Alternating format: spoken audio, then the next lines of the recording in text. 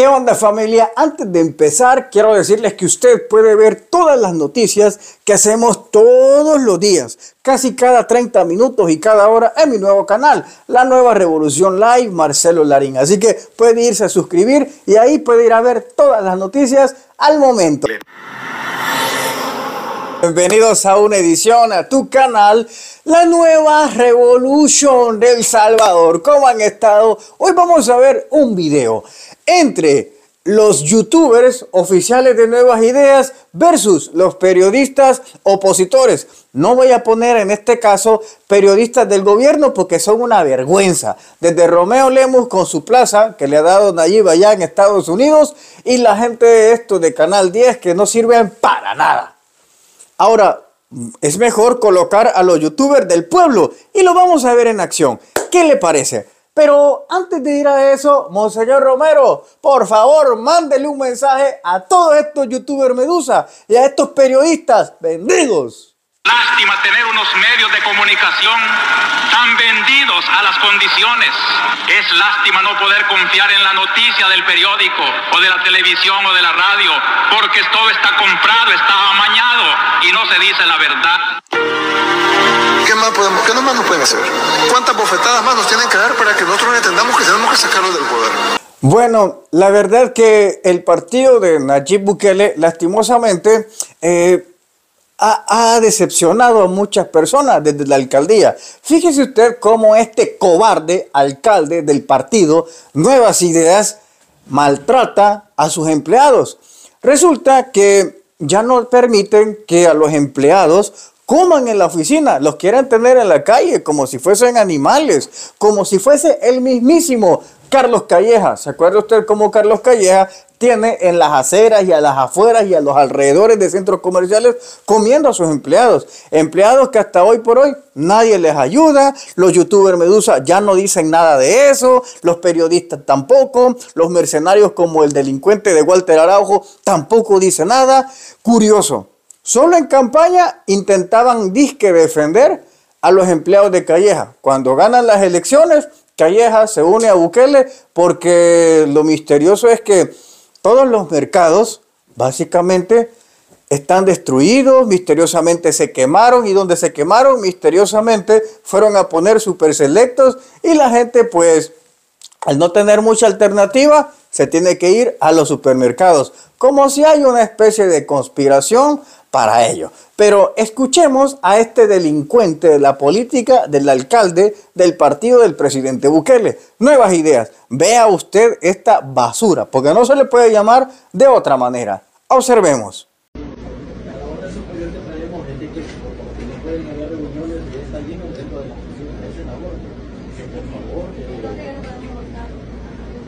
No, definitivamente es una orden que no pueden Disculpe, una pregunta. ¿Y, esa, y ese memorándum eh, cuándo Sí, lo exacto, eso es lo que me voy a preguntar. ¿Quién es el que le dio el permiso para que puedan hacer el Es que no es reunión ni evento, estamos comiendo. Estamos almorzando. La única diferencia es que hemos pedido pollo. Que nos empalmaron y estamos tratando de disfrutar el salario. Sí, la orden es esa, que dentro de la oficina no pueden estar. Pero no sería para toda la Entonces deberían de mandar un nuevo por a no. pasar. Se debería de antes, debería llevar la Pero en atención. este momento es la. Sí, pero es bien ilógico cuando nos vienen a nosotros a prohibir porque estamos comiendo. Yo no veo ningún globo, ¿verdad? No veo cuál es el evento que hay, ni música. Entonces, yo no veo ningún globo. Entonces, como no hay ningún globo y no hay un festejo, ¿o dónde le compró usted que hay un festejo? Solo estamos almorzando. La orden es esa. Entonces, le deberían de indicar con medios de nuevos, porque según tengo entendido que por ley se comida para dar una orden. Su nombre y todo. Entonces la orden es esa, que salga mesa y que no pueden estar comiendo. Perfecto. Está bien. Bueno, no respetan ahora Pero, pues, sí lo grabé. Ahí lo puedes ver. Es tu responsabilidad. Vos, si sos fanático de nuevas ideas, es tu responsabilidad ayudar a limpiar a ese partido. Porque de lo contrario va a terminar igualito a Arena y al FMLN. Dos partidos políticos basura, que no sirven para nada. Y que en estas elecciones les tienen que dar cuello y los tienen que mandar al otro mundo. Son simples parásitos, igualito que muchos mercenarios que andan ahí llamándose ahora de nuevas ideas que antes eran de arena, después del frente y después de gana y así andan saltando. Pero lo importante de todo esto es que uno ayuda al país denunciando. Si usted es fanático de nuevas ideas, siga siendo fanático, que da igual. El punto está que sea un fanático positivo, intente conservar su partido de una forma que no lo manchen delincuentes como ese. ¿Cómo se le ocurre señalar a la gente y decirles que tienen que irse, que no pueden comer en la oficina? Por favor. Ese tipo de cosas no deberían de permitirse, pero lastimosamente se permiten y este tipo de cosas no lo colocan, al menos hasta este momento que estoy grabando, He revisado las cuentas de Twitter de los diputados y como es de nuevas ideas, todos con el hocico cerrado. No dicen nada. Pero bueno, ahora sí, vamos a ver el versus, el face to face, el cara a cara entre los youtubers de nuevas ideas y los periodistas opositores. Así que en primera instancia vamos a ver como Roberto Silva, que es un youtuber medusa, que a la cual tiene una boca de excusado, una persona que acaba de estar preso precisamente por ofender, maltratar a las mujeres de una forma muy estúpida, porque hay que decirlo, una forma muy estúpida referirse de esa manera a una mujer. Y por eso pues ya estuvo guardado, pero al parecer Hoy sí aprendió la lección, estaba frente a Marlene Funes y veamos lo que estas personas, representantes youtubers y nuevas ideas, le preguntan a la oposición. Veamos este tema de país que esta persona le va a preguntar y ponga atención lo que responde Marlene Funes. Vamos a verlo. De esas supuestas negociaciones, gracias a un periódico que algunos lo ven como el diablo, otros lo ven como mofa, el faro es ese mismo Faro también que dio a conocer unos audios de un alto funcionario de gobierno. Eso no lo conocían ustedes. ¿Cómo no? ¿Funcionario de gobierno de qué? Hablar del Faro eh, seríamos, estamos mal, porque si usted recuerda, el Faro, eh, Héctor Silva Ábalos, que era uno de los periodistas, recibió cantidades de dinero de parte de la partida secreta de Mauricio Funes. ¿No, no siente usted que fue como que estos periódicos son, son extorsionistas? Eso tendría que responderlo el Faro, como también tendrían que responder algunos diputados actuales que también recibían dinero de la partida secreta del Estado pero eso no sería Marlene Funes quien lo va a responder, sino el que recibió ese dinero. Con la diferencia que si usted antes tenía la camisa roja y tricolor y recibió dinero del Estado, pero hoy la tiene celeste o la tiene cian, pareciera que ha sido perdonado e inmaculado y por eso pues ahora es nuevo y puro. Yo creo que la importancia de, de, ustedes como creadores de contenido es que está bien si algunos apoyan al gobierno, es que está bien, si, es que todos tenemos derecho a tener una preferencia, pero también ustedes tienen una gran responsabilidad y es de cuestionar, por ejemplo, a mí me gustaría que Silva, Silva. Silva, que Silva le preguntara a los diputados del gobierno por qué negaron públicamente de la existencia de los 14 mil dólares para contratación cosa que esta servidora lo hizo público y que ellos lo negaron. Pero lo hizo público hasta ahorita, ah, diputada, nunca lo hizo hasta público. ahorita yo tuve acceso a esa información, porque yo hasta ahorita soy diputada. Diputada, yo fui del grupo... Lo, y yo lo hice público hace más de un año, y ustedes pueden buscar... Yo fui parte del FMLN y desde el 2004 sabemos que ese dinero se recibía. Entonces usted lo hubiese hecho público, porque si no lo hizo público también es, es que, es que todo lo denunciamos. como dice el presidente de la Asamblea Legislativa, a la prensa educada y a los creadores de contenido educados. Por eso nos corrieron, De manera formal viene acá y lo hace. Pero también al que viene a generar polémica, pues así también generan contenido. Muchas sí, gracias. Para usted, ¿quién ganó el round? Para usted, ¿ganó el round estos youtuber Medusa de Nuevas Ideas o lo ganó Marlene Funes? Seamos sinceros, ¿quién ganó para usted? Bueno, yo no voy a decir quién ganó para mí. Pero vamos a ir al número dos. Hoy vamos a ver cómo un periodista opositor, llamémosle, porque hoy mucha gente tonta anda lavando la cabeza que cuestionar ya eres opositor. Uy, si cuestionas a Nayib lo estás atacando. Uy, si cuestionas al gobierno, entonces sos gorgojo. Uy, Dios mío, esta gente está pensando, son un peligro. Póngales en el régimen de excepción y mándenlos a secota, porque hoy pensar al parecer como que ya es un peligro. Pero veamos qué es lo que le cuestiona al presidente Ernesto Castro. Porque si vos no sabías, mi bro, nuevas ideas, pues resulta que se aumentó un millón de dólares. Un millón de dólares en sueldo. Pero esto no lo hubiéramos sabido si no es que una periodista disque opositora le pregunta a Castro. Veamos la respuesta de Ernesto Castro. Sobre el presupuesto de la Asamblea Legislativa eh, ya fue público y este se, se ve una, un aumento en el rubro de salarios por casi un millón de dólares. ¿Cuál es la justificación eh, tomando en cuenta que habrá una reducción de diputados? Sí, mira, hay una reducción vea, en, en el presupuesto en general.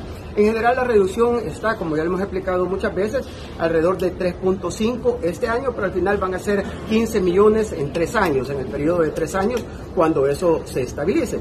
Sabemos de que la próxima legislatura va a iniciar a partir de mayo, de mayo a, diciembre.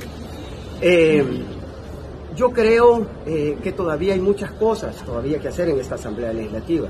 Incluso hay reducciones que van a hacer si Dios lo permite eh, y yo pueda ser parte de esa toma de decisiones en la próxima, eh, en las próximas elecciones, en la, en la próxima legislatura, eh, una de las cosas en las que yo estoy insistiendo es que los grupos parlamentarios tienen un excesivo presupuesto. no debe de ser así. Creo que tiene que bajar todo eso. Y ahí es donde la razón en la que estábamos viendo precisamente lo que tú me acabas de decir el día de ayer en junta directiva, es que han bajado el tema de las plazas, pero se aumentó en el tema de los, de los, de los salarios. Y eso es algo que no debe de suceder. Y tenemos que revertir eso. ¿Pero por qué se ha aumentado? Porque por ese, por, por ese jueguito que hicieron que no vamos a permitir. Pero o sea, eso fue aprobado, no de, es, o sea, eso fue aprobado en, esta, en este año pasado y eso es lo que va a funcionar para este 2024. Sí, es algo que se tiene que corregir pero usted votó para ese aumento. Muchas gracias, tenemos más preguntas. O sea, lo que, no, nosotros lo que votamos fue por un presupuesto. Nosotros lo que votamos... Bueno, ahí lo escuchaste vos. A mí me cuesta creer.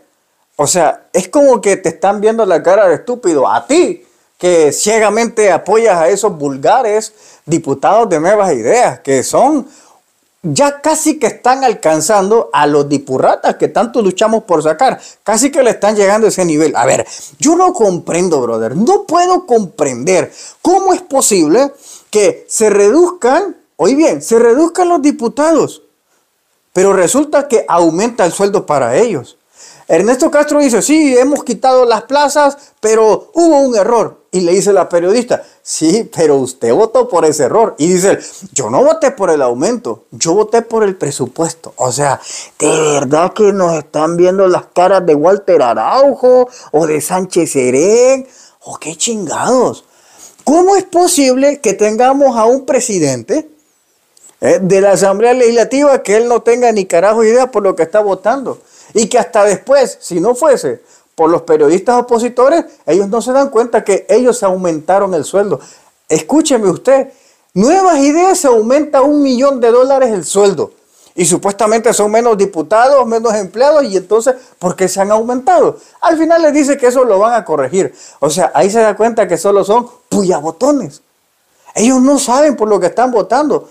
Así que, bueno, pero eso no es el único video. Hay otro video que me llama la atención y quiero que usted analice lo que está pasando. Vemos esto. Está lista, está dictaminada, eh, la sacamos de agenda porque eh, pegándole la última revisión vimos ahí algunas cosas que no estaban como muy, muy, muy claras. Eh, una de esas es que estaban eximiendo a algunos rubros o algunas empresas de lo que le exigían a todas las demás. Entonces, eh, nosotros como grupo parlamentario, al, percatarnos de eso, preferimos no eh, llevarlo a, la aprobación final, la estamos eh, analizando. eh, si, si estamos listos para esta plenaria, pues nosotros la vamos a meter con, con- con modificación de agenda y la vamos a, a- a- vamos a hacer esa modificación para que todas queden en igual condiciones, porque no, estábamos de acuerdo con que algunas se sacaran para que no pudieran, eh, para que no pudieran eh, presentar, vaya, por ejemplo, eh, farmacéuticas, droguerías, constructoras, partidos políticos, ONGs, gremiales, las estaban sacando para que ellos no cumplieran lo mismo que las demás. Entonces nosotros no logramos entender eso, pues, o sea, ¿y por qué? Entonces es algo de que, se fue, pero bueno, en su momento, gracias a Dios, todavía no ha sido aprobada y esperamos, como te repito, si en esta, en esta sesión plenaria tener la lista, pues la vamos a meter con dispensa de trámite y vamos a hacer esa modificación. Diputado, perdón, pero solo para redondear entonces, fue un error que la comisión la dictaminara entonces, porque si esa propuesta vino desde el Ejecutivo redactada así y así se aprobó un día después de haberse recibido, ¿fue un error dictaminarla entonces? Sí, mira, fue, no se percataron de eso. Ahora, ahora eh, no se percataron de eso, pero lo importante es que la misma comisión, antes de ser aprobada, eh, se percató y fue la que nos avisó también a nosotros como, como, grupo parlamentario mayorita- mayoritario que somos en Nuevas Ideas y fuimos nosotros los que la detuvimos gracias a que la misma comisión sugirió eso y por eso es que está así. Así que también gracias a ellos es que seguramente vamos a hacer la corrección debida. ¿Lo escuchaste, man? Vaya, quiero que te pongas a pensar detenidamente. ¿Cuáles eran los negocios de Alfredo Cristiani? Los negocios de Alfredo Cristiani efectivamente son las farmacéuticas y las droguerías. Es decir, que viene Ernesto Castro y dice que en el central, el gobierno central, donde está Bukele, de ahí les mandan lo que ellos tienen que aprobar. Fíjate. Y resulta que ellos, como más o menos algunos diputados saben más o menos leer, porque la verdad que hemos escuchado a unos leyendo que fue su madre, parece que el profesor de ellos fue Sánchez Serén. Pero la cuestión es que entre ellos dice que se dan cuenta que en esa cuestión de las investigaciones del lavado de dinero, desde el gobierno central de Bukele les mandaron que no investigaran a la ANEP, a organizaciones, a ONGs, que tampoco investigaran a las farmacéuticas. Y gracias a Dios que más o menos saben leer los de nuevas ideas y se dieron cuenta y dijeron, oye, espérate, ¿cómo es que aquí no aparecen los negocios de Alfredo Cristiani? ¿Mm? que son las droguerías y las farmacéuticas. ¿Cómo es que no aparecen los ricachones de la NEP? ¿Cómo es que no los vamos a investigar? Y él dice, ah, es que nos la mandaron así, nos quisieron hacer un jueguito. A ver, ca, ¿cómo que les quisieron hacer un jueguito? Y si tienen personas de confianza, ¿cómo es posible que allá en Capre se les mete un caballo de Troya e iban a blindar y a proteger a Alfredo Cristiani y sus negocios? Y a los grandes millonarios a sus negocios. Se me hace estúpido creer eso. Como lo que dice que, que la comisión les iba a hacer un jueguito ahí para que se aumentaran el sueldo. Oigan, pero ¿y quién domina nuevas ideas? ¿Quién domina la asamblea? Pues si son los de la bancada Cian. ¿Cómo es posible que los diputados de la bancada Cian, ellos mismos aprueban un aumento de sueldo, votan por eso y después se dan cuenta que fue un error que ellos se supieran un millón de dólares, brother, un millón. Y a usted que me está viendo, pregúntele a su familiar cuánto le aumentaron a usted de la pensión. Es que le terminaron aumentando la pensión a gente como Rubén Zamora, gente que fraudulentamente obtuvo una pensión de dos mil, tres mil y cuatro mil dólares, pero a los pobres, no, 50 pesos, 100 pesos, 60, 10 pesos le subieron. Y a los que ya ganaban con sus pensiones VIP, a eso se le subieron, pero muchísimo, muchísimo. Pero bueno, esto es lo que quería mostrarle. Para usted, ¿quién le pareció mejor pregunta? Lo que le hacen estas gentuzas, los youtubers medusa, que le preguntan eh, preguntas estúpidas y no un tema de país, o una pregunta que le diga, oye, ¿por qué es que vienes tú y te aumentas un millón de dólares? ¿Por qué lo haces? Ahí le he dejado los dos paralelos. Así que es usted el que tiene que decidir realmente quién está haciendo un buen trabajo. Es usted. Yo realmente le voy a decir quién tiene un buen trabajo. ¿Quién ha hecho un buen trabajo? Al menos cuestionando al poder, porque al poder, mi brother, se le cuestiona. No se le arrodilla uno. Y esa es una frase que me encanta, que dice un comediante político de allá de México. Y tiene toda la razón. Pero bueno, ahí te dejo ese programa. Muchas gracias por todo. Se les quiere y de gratis. Hasta pronto.